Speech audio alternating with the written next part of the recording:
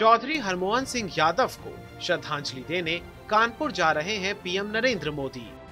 PM के दौरे से पहले राजनीतिक कयासबाजियाँ शुरू हो चुकी हैं।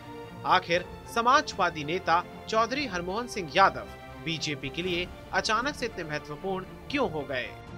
कौन थे चौधरी हरमोहन सिंह यादव? उत्तर प्रदेश की राजनीति में उनका कद क्या था?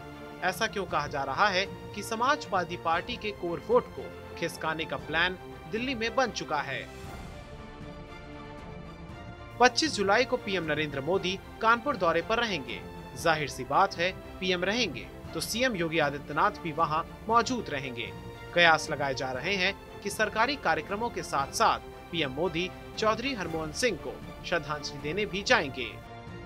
चौधरी हरमोहन सिंह यादव यादवों के बड़े नेता थे। कानपुर और उसके आसपास के जिलों में उनकी अच्छी खासी पैठ थी। हरमोहन सिंह ने गाँव से संसद तक की राजनीति की। उन्नीस सौ बावन में वो पहली बार कानपुर के गुजैनी गाँव के प्रधान चुने गए। हरमोहन चौधरी की विधायी और संसदीय राजनीति। राजनीतिक सक्रियता के चलते हरमोहन सिंह यादव, मुलायम सिंह यादव के संपर्क में आए। 16 मई 1970 को हरमोहन सिंह यादव फरुखाबाद कानपुर विधान परिषद सीट से चुनाव जीतकर लखनऊ पहुँचे। उसके बाद 1990 तक वो विधान परिषद में बने रहे। उन्नीस सौ इक्यानवे में चौधरी हरमोहन सिंह नॉमिनेट मेंबर के तौर पर राज्यसभा पहुँचे। हरमोहन चौधरी दो बार राज्यसभा सांसद रहे हैं।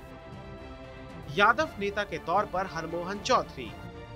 विधायी और संसदीय राजनीति के साथ साथ हरमोहन चौधरी यादवों के नेता के तौर पर उभरे। उस दौर में उत्तर प्रदेश में यूपी में यादवों के सबसे बड़े नेता मुलायम सिंह यादव हुआ करते थे।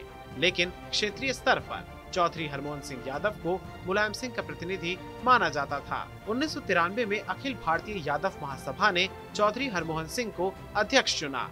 उसके बाद तीन बार यादव महासभा के वो अध्यक्ष रहे। चौधरी हरमोहन की विरासत। चौधरी हरमोहन सिंह समाजवादी नेता थे। कानपुर और उसके आसपास के जिलों में उनकी अच्छी पैठ थी। मुलायम सिंह यादव से उनके संबंध काफ़ी अच्छे थे। हरमोहन के बाद उनके पुत्र सुखराम यादव को विरासत में राजनीति मिली। चौधरी हरमोहन के नाम पर सुखराम को दो बार विधान परिषद और एक बार राज्यसभा सांसद रहने का मौका मिला। 2004 से लेकर 2010 तक सुखराम यादव यूपी विधान परिषद के अध्यक्ष रहे। 2016 से लेकर जुलाई 2022 तक समाजवादी पार्टी से राज्यसभा सांसद भी रहे। यादव वोट बैंक में सेंधमारी का प्लान। हरमोहन चौधरी के ज़रिए बीजेपी का मकसद, यादव वोट बैंक को खिसकाना है। हरमोहन के बेटे सुखराम यादव का रुझान बीजेपी की ओर है। वो पीएम मोदी और सीएम योगी आदित्यनाथ से मुलाकात भी कर चुके हैं।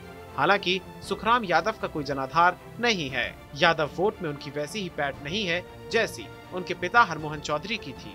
क्योंकि मुलायम सिंह के सबसे प्रमुख सहयोगियों में हरमोहन चौधरी का परिवार है। ऐसे में अगर सुखराम यादव पार्टी बदलते हैं, हरमोहन परिवार के बाकी सदस्य भी बीजेपी में जा सकते हैं। ग्राम पंचायत से ब्लॉक और जिला पंचायत तक हरमोहन चौधरी का परिवार और रिश्तेदार फैले हुए हैं। अगर ये लोग एक साथ बीजेपी में गए तो बड़ा सियासी संदेश जाएगा कि अखिलेश यादव अलग थलग पड़ गए हैं।